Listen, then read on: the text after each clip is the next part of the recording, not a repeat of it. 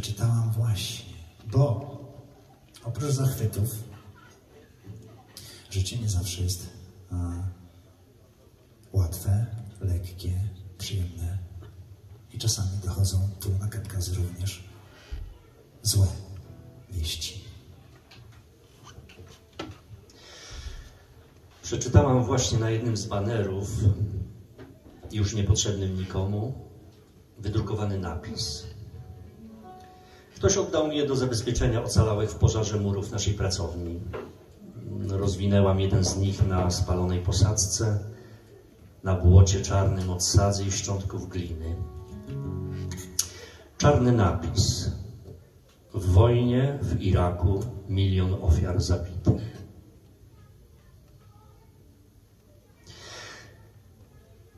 Stałam wewnątrz wypalonej jamy, bez dachu, bez drzwi ani okien, w reszce budowli ukochanej, ukochanej i straconej. I cóż ja tu znaczę? Cóż znaczą moje nieszczęśliwe wypadki? Co znaczy ja naprzeciw śmierci milionów, naprzeciw rozpaczy tego świata? Dualizm i względność mnie dopadły. Okryte już mury banerem, jak plastikowym płaszczem od deszczu. Hmm. Banał z takich treści. Powielanych, głoszonych, co niczego nie mogą na lepsze odmienić. Ani ludzkiego losu, ani ludzkiego cierpienia. Jedynie coś przykryć przed deszczem do wiosny. A wiosną już niepotrzebne i mnie staną się śmieciem, co przez następne setki lat nie ulegną biodegradacji. Względność. Względność w przestrzeni wszystkiego życia pulsuje i zdawać by się mogło, że okrutnie pyta, po co ci wymiar i czas? Po co ci miłość? Ale moja prawda jedyną istotą człowieczą. Tylko takie pieśni umiem tak jedynie świat rozumiem. Tak umiem grać, gdy zapisy kreślę ze zdarzeń i plany przeżywam w nadziei na jutro. Czy jestem bez skóry, że czuję jak boli ten napis na białym plastiku?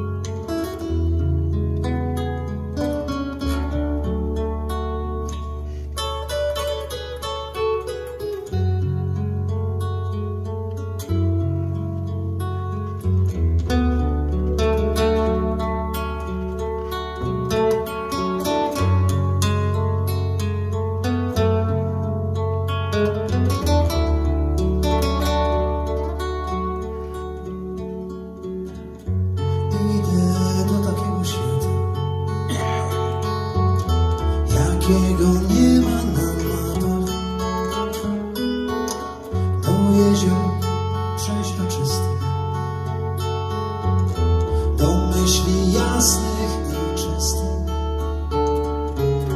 do oceanów spokojnych.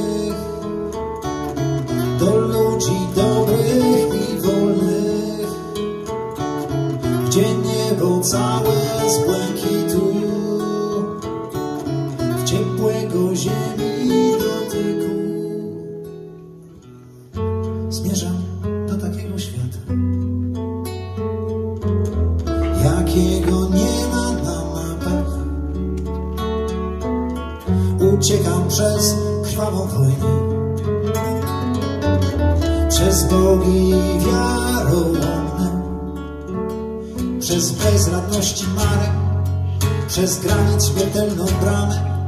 Nie widzę nieba błękitu. Nie czuję nadziei dotyku. A lasy szeptały w sekrecie Wolności nadal 点钱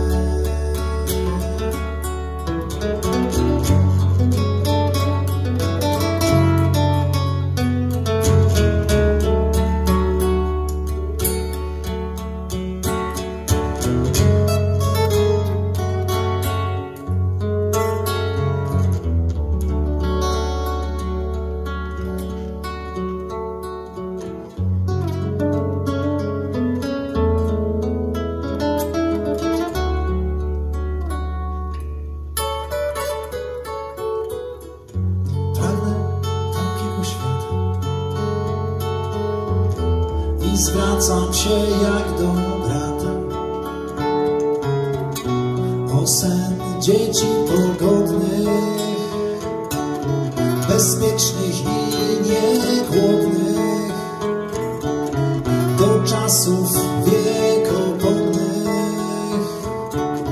co nie zaznały wojny.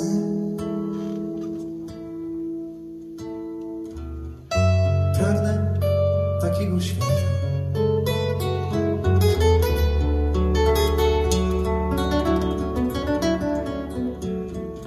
Pragnę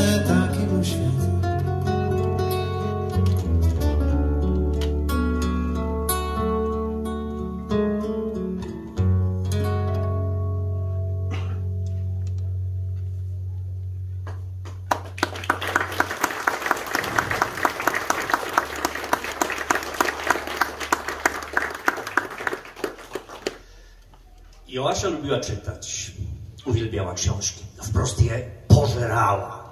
Tak mówiły kucharki w stołówce, kiedy czekaliśmy po lekcji na obiad. Ona pierwsza zajmowała miejsce przy okienku, nawet godzinę wcześniej, żeby szybko odebrać danie i mieć spokój na czytanie. A może te książki ją pożerały? No, była bardzo koścista, wysoka. Skórę na udach miała przezroczystą i widać było sinawe, krwionośne naczynia. Nos też jej siniał, kiedy zmarzła skulona gdzieś na uboczu, oparta pod ścianę. I chociaż bardzo ją lubiłam, coś mnie w tej strategii zaczytanego uparciucha nieznośnie złościło. Nazywaliśmy ją Kosa. Niknęła ze szkolnego gwarnego życia, z tym nosem w książce utkwionym, jakby świat nasz nic jej nie obchodził. Ani tu na skwerku słonecznym i jasnym, ani na boisku bieganej za piłką, ani nawet tam pod cienistym kasztanem w alejce, gdzie grało się w gumę z koleżankami. Nie chodziła z nami na długiej przerwie do piekarni Stasińskich przy Starej Domaszowskiej, by kupować ćwiartkę chleba za złotówkę. Nie skubała gorącej skórki.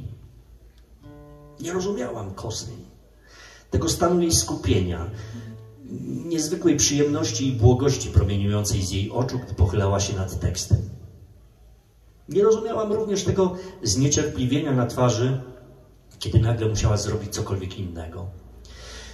Pomagała w bibliotece wypisywać karty i odszukiwać na półkach książki.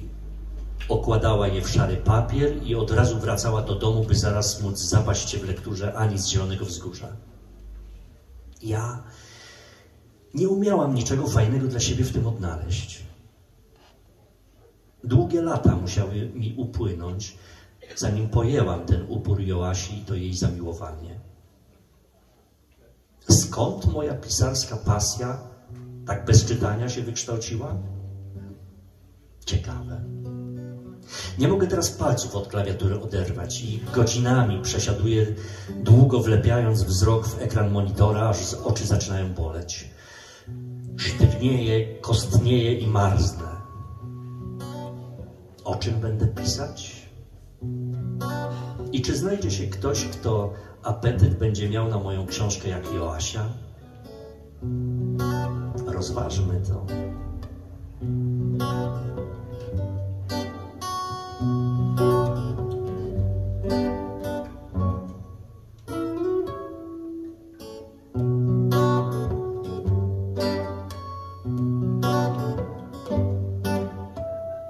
thank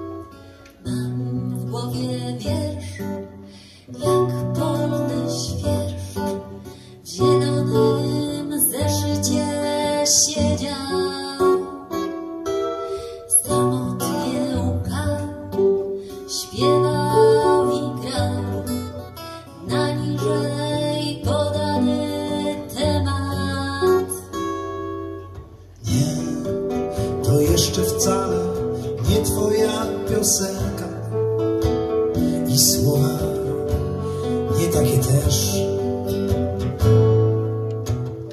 Choć taka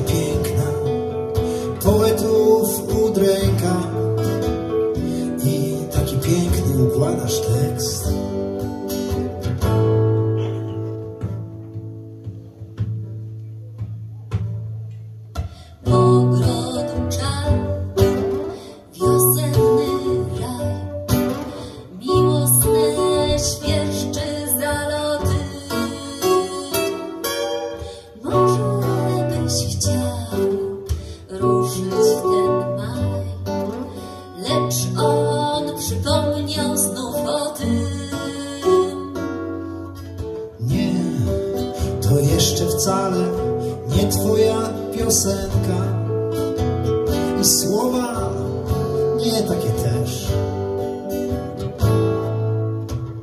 Choć taka piękna, poetów udręka,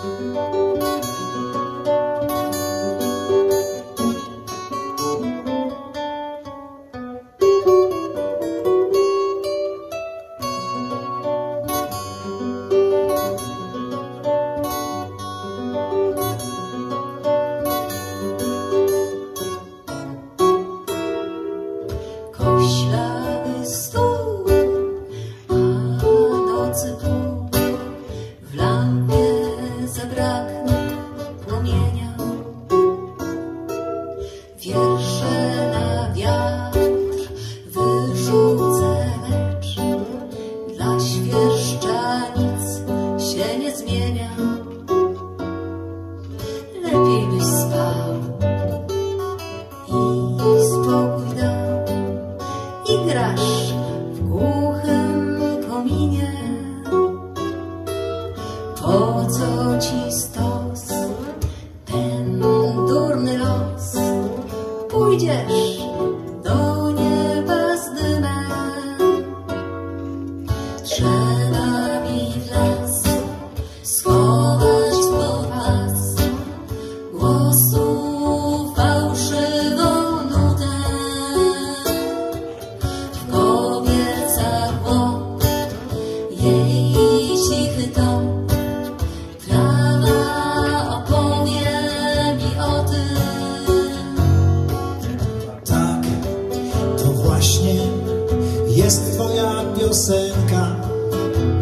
swallow.